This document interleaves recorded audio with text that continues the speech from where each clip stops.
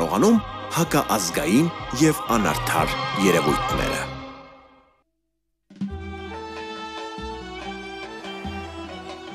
Ալո։ Դուխիկ։ Ոնց ես շինարես։ Նա ղուրբանը դեղնիմ։ Թորրենիս հետ ես։ Վայ ես դրանց ղուրբանը եղնիմ, վայ։ Ասա սանասար բաղդասար, պապին ասում է ես ձեր ղուրբանը եղնիմ։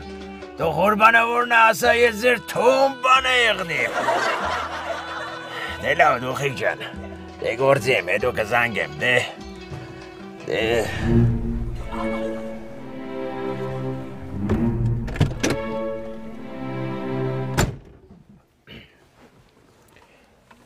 Պաչում եմ։ Այ բալամ։ Քեզ չեն սովորացրել, որ դուրը պետք է ծեծես նոր բացես։ Հալավ կներես, քշի Խոջոյան փողոց։ Խոջոյան փողոց։ Տղա ջան, ես Երևանի 171 փողոցները թորների սանունների պես անգիր գիտեմ։ Երևանում Խոջոյան փողոց գոյություն չունի։ Այն նկար մկար, որ բանը Վերնսաժի մոտի փողոցը, ոնց է դրա անունը։ Խանջանի հետ ես։ Լավ, գնանք։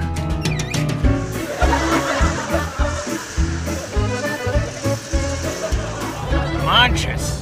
Խանջան փողոցը հայ անվանի պետական գործիչ Աղասի Խանջանի անունով է։ Խանջանի չճանաչել է այդ գենդերային հավասարության մասին օրենքը ընդունելու պես բանա. Ամոթա Խանջանը 1930 թվականին Հալավ այ հոպար ջամփիտ նայ քշի շուտ հասնենք տեղ ուշանում եմ։ դա մանչս ոնց ասես տեցեկան է Ու մենակ ինձ ասա այդ Խանջանի վրա որ կոնկրետ որ մասն է պետք Կավբոյի արձանի մոտ։ Կապոյ արձան այ քեզ բա Նարդի խաղացողի արձանը սարքեցին մի ձև տարան Այդ կինո Մոսկվայի դեմը ինչքան բլոշ մլոշ կար ժեշտից բերին լսին ասի գա Հիմա էլ կավբոյի արձան արա, այդ թազա արձան է Այն Վերնսաժի դիմացն անգնում, թազա չի ինա։ Ձիու վրա թուրը ձեռը։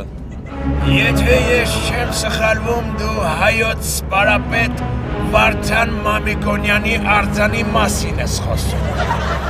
Ու եթե էդի տենց է ես ստիպված եմ քո տիրունանը կրգելու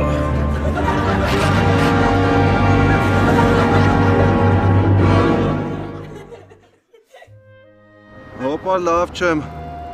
Խնդրում եմ մի հատ սկորի զանգի։ Էլ չեմ դիմանում։ Լավ չի, չէ։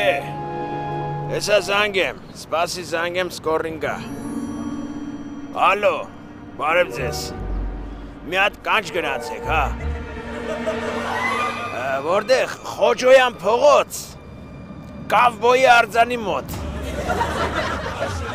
Դե ես գնամ հեսա երևի սկորիդ կգա։ Երևի։